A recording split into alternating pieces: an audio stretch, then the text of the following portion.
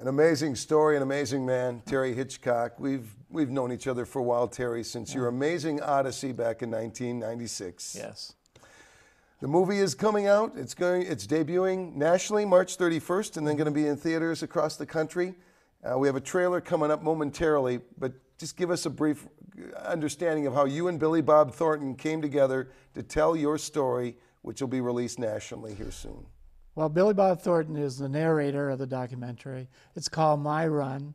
It's uh, about my life and, in particular, my journey to Atlanta to the opening ceremonies. I ran the equivalent of a marathon a day for 75 consecutive days. Let's look at the trailer now, and we'll come back with more on Terry Hitchcock and his story and his movie.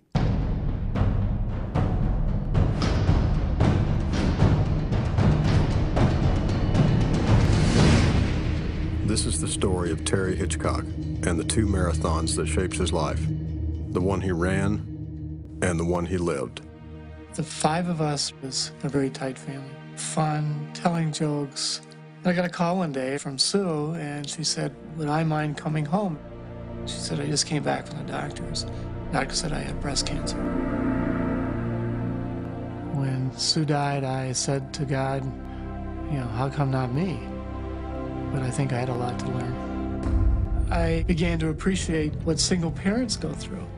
Someone had to get out there and talk about what these kids need and what these families need. I said, I want to do a marathon a day. Now into the unknown. You look at this guy, you do not think this is a marathon runner. Well, he's 56 years old, he's on high blood pressure medication. I don't think he's really ever run before. What did I get myself into? Numbing cold, stifling heat, uphill, downhill, day after day. You know, his feet were just eaten up from the constant pounding he was taking. I started to feel real dizzy. Everything started getting red. I'm getting chest pains.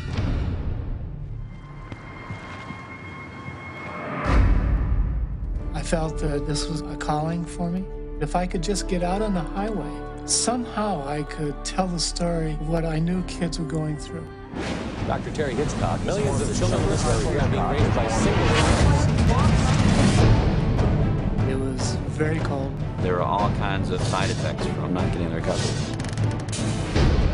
It was 24 hours a day. Now the people around you are starting to go away too.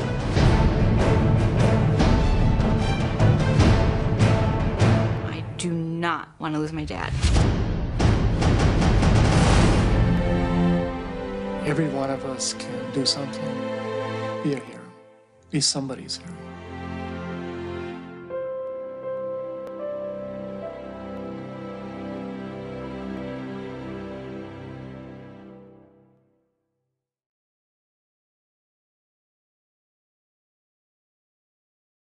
The movie is coming out, debuting. Well, for a local guy here from Prior Lake, Minnesota, you're gonna Minnesota here is going to be a place where they can see it, yeah. uh, as well as the rest of the country. That's yeah. exciting. Yeah, it really is. Uh, it's going to be in 11 theaters in Minnesota, and then it's going to be in 541 theaters across the country, March 31st.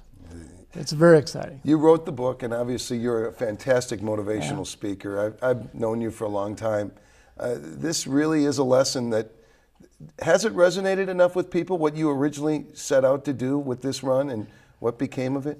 Well, you know, that was in 1996, and now there's a few people that have run across America, but it, it, it, was, a, it, it was a person who never was a runner. I never really ran much more than maybe a couple 10Ks, and everybody said it was impossible.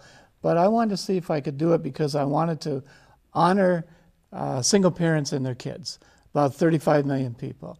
And so I wanted to get out there and at least have an opportunity to say something about what people go through every day. And I wanted to show them that if I could do this, then we all could run our own daily marathons and, and really be successful in our lives.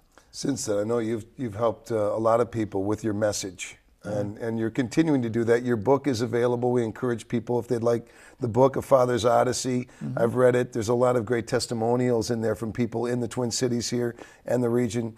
talk about the book and, and other places where they can find out more about what you are and what you're doing. Right. I, I think the best way to get the book is really go on my website because I sign all books. I put a personal letter with it, and uh, it's really my way of giving back. I give a portion of the proceeds to breast cancer, to diabetes, and also to Asperger's.